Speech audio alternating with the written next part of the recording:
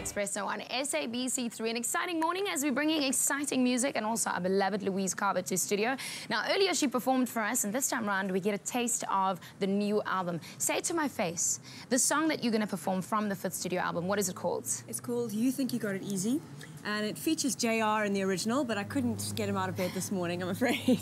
um, so I'll have to have him um, in my thoughts when I'm singing it. But um, it's a tongue-in-cheek song um, about after a breakup, you get up, you dust yourself off, and you're saying, you know, you think you got it easy, but boy, you got it hard without me. Well, it is the month of love, and it's time to hear how hard he really has it. Louise Carver, take it away. Thank you.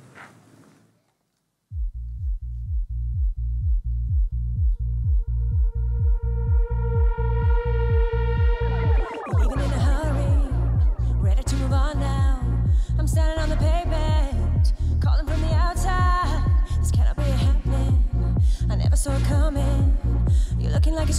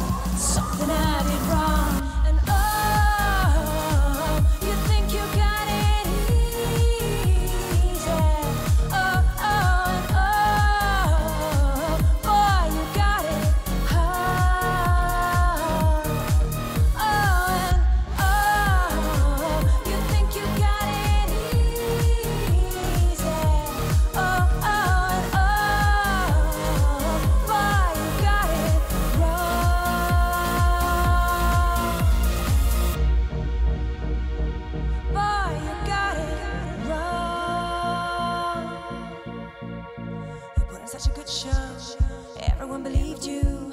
I should have aimed higher. Nothing I can do now. You wanna be a big star, climbing up the ladder. Such a little boy who's surrounded by delusion. I'm feeling so much better, trying to forget you. Loving all this big space